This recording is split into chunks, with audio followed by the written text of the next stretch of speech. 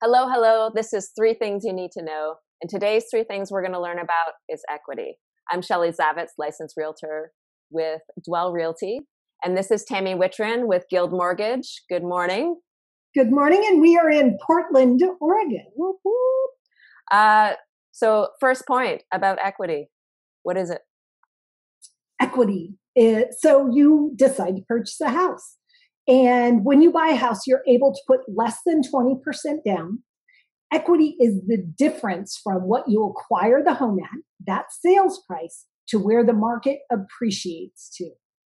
Okay, so if I were to buy a house at 400,000, perfect. Explain equity after that. After I buy the house.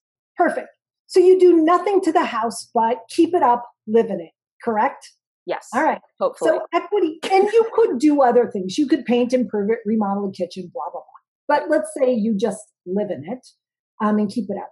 So you buy it at four hundred thousand. Your market in in wherever you live in Portland, Oregon, is appreciating at four percent. In one year, you have gained sixteen thousand dollars by doing nothing.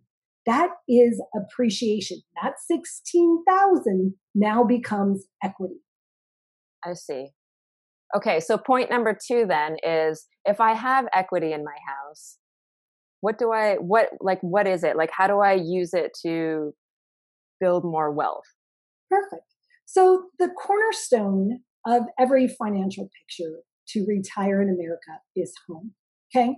When you retire in America, if your home is paid off, you're able to retire.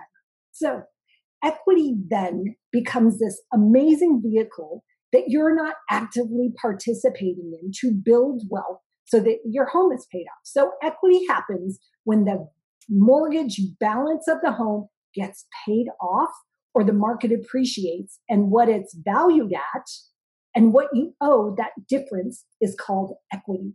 And that is the cornerstone of financial wealth. Okay, so if I buy a house and it's appreciating and I am slowly like paying off the mortgage that mm-hmm. space in between is where the egg is right? That's the equity egg. That's the that thing that it. i could retire on in the future. Is that what you're saying?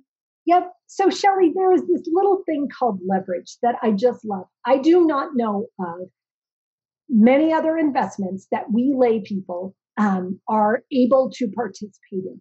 Leverage is when the investment you buy into for a very small amount. For example um, when you buy a home, when you close on a home, you take ownership. That asset is then yours.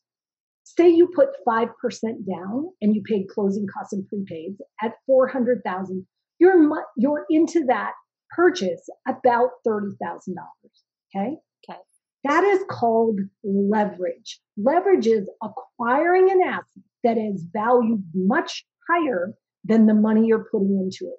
Leverage is how you acquire wealth. For example, your $30,000 in the bank today appreciates or builds value at about $600 a year at 2%. Wow. Okay. But this $400,000 home can build equity in our Portland market very conservatively at say 4%, which is $16,000. So you so leverage is a really powerful tool. Oh my gosh. and it gives the average person like you and I the ability to start to save in a massive way for our future. It is the only way you can retire in America, in my opinion, mm-hmm. with housing prices going up, cost of living going up.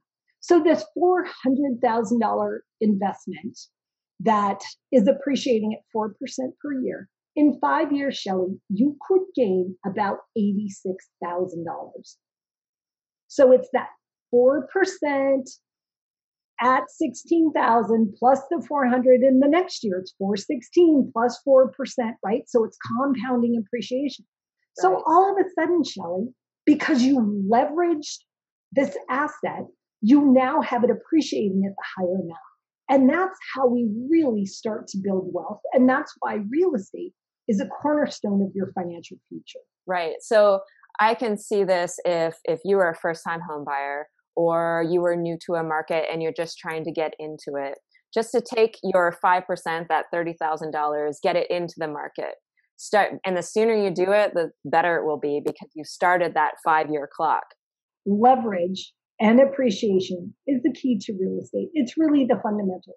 The truth is, we all have to call somewhere home, right? We have right. to live somewhere.